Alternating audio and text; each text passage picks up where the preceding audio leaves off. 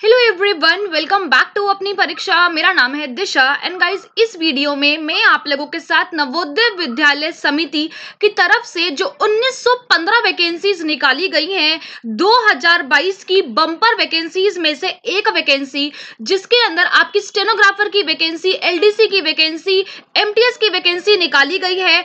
उसके बारे में डिस्कस करने वाली हूँ। हम एज लिमिट क्वालिफिकेशंस का पेपर होने वाला है। एप्लीकेशन फ़ीस क्या है? सिलेबस क्या है, एग्ज़ाम पैटर्न क्या है, हर एक चीज़ पर डिस्कस करेंगे एक ही वीडियो में। आई प्रॉमिस कि ये वीडियो बहुत फ्रूटफुल रहेगी, इसको पूरा देखिएगा, क्योंकि आधा अधूरा ज्ञान लेके ना जाए। और मैं आपको स्ट्रांगली सजेस्ट करूँगी कि इस वैकेंसी के लिए आप ज़रूर भरे, क्योंकि इसके पेपर की डेट भी आउट हो चुकी है और बहुत फास्ट प्रोसीजर है इसका। आपको कई गुना जो अगर आप एसएससी में टाइम इन्वेस्ट कर रहे हैं और आपको लगता है कि नहीं, वहाँ पे एज लिमिट की वजह से आपका बैरियर आ सकता है तो ये वैकेंसी आपके लिए ही है। एनवीएस है नवोदय विद्यालय समिति, जिसने different different non teaching post के ऊपर वैकेंसीज अपनी निकाली है। टोटल वैकेंसीज 1915 है, जिसमें से काफ़ी ज़्यादा वैकेंसीज आपके काम की होने वाली है। तो फटाफट से सब्सक्राइब कर देना वीडियो को लाइक कर देना और शेयर ज़्यादा से ज़्यादा करना। और इसकी कंप्लीट पीडीएफ मेरे टेलीग्राम ग्रुप पे अवेलेबल है। ठीक है न्यूज़पेपर कटिंग से लेके कैसे आप लोगों को सब कुछ मिलेगा, सब कुछ टेलीग्राम पे अवेलेबल है। लिंक डिस्क्रिप्शन में है, जाके वहाँ पे ज्वाइन होके पीडीएफ देख लो। बिल्कुल मैच करेगा जो आज मैं आप लोगों को यहाँ पे बता रही हूँ। ठीक है? सो गाइज़ अगर हम देखें तो यहाँ पे अब एप्लीकेशन की जो डेट है, ये 12 तारीख से शुरू हो चुकी है। मतलब आज आपकी मकर संक्रांत है happy Makar Sankrant to everyone ठीक है? और लास्ट डेट है आप लोगों की यहाँ पे 10 फरवरी।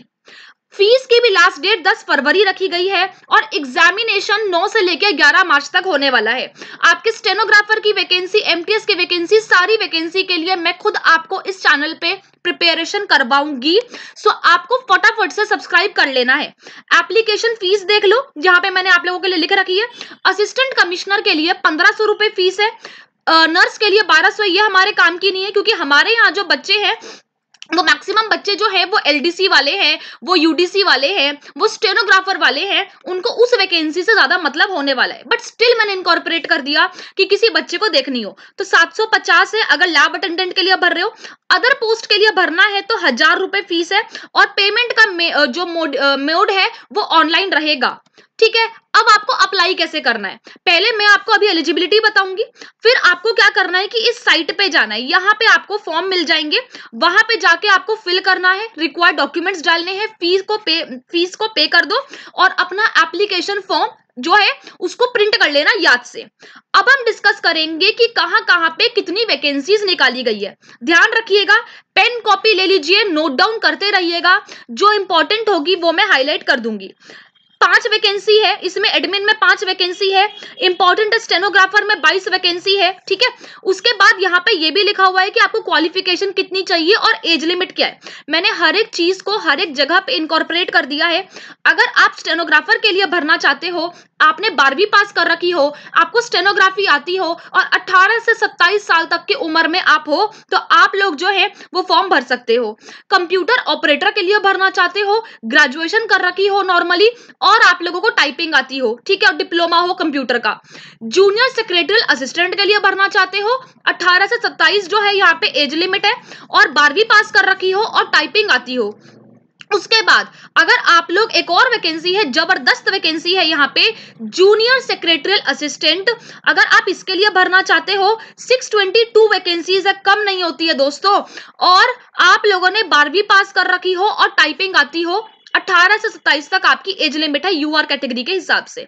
सिंपल, अगर आप एमटीएस के लिए भरना चाहते हो नॉर्मली आपने टेंथ पास कर रखी हो, ठीक है? 18 से 30 आपकी एज लिमिट है यहाँ पे और 23 वैकेंसी यहाँ पे आउट है।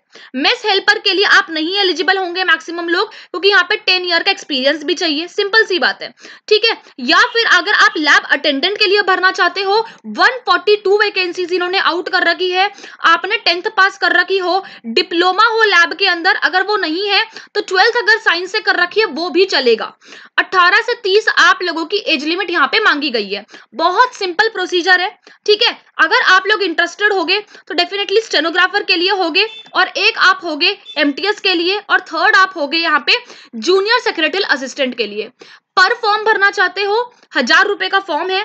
अब आपका पेपर कहाँ होगा? तो ऑल ओवर इंडिया आपका पेपर ये रखा जाएगा। 9 से 11 मार्च तक आप लोगों का पेपर कंडक्ट करवा लिया जाएगा। अब बात करते हैं कि क्या कोरोना वायरस से इसके पेपर पे कोई इम्पैक्ट पड़ने वाला है? गाइज़ देखो, अगर हम पीक की बात करें, वो जनवरी की लास्ट में पीक आएगी। पॉइंट नंबर वन फरवरी की लास्ट तक ये पीक जो है बिल्कुल स्लो हो जाएगी, ठीक है? सो आप लोगों के मार्च में इससे कोई फ़र्क नहीं पड़ने वाला। मार्च में इससे कोई फ़र्क नहीं पड़ेगा।